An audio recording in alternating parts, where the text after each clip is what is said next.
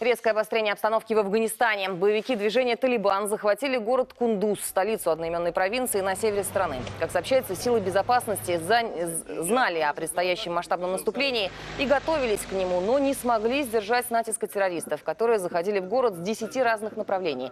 Сейчас правительственные войска разрабатывают план контратаки и подтягивают силы. Но по докладам командования, боевики оборудовали оборонительные позиции в жилых домах и на социальных объектах. И штурм города с применением тяжелого вооружения и авиации неминуемо повлечет за собой гибель мирных жителей.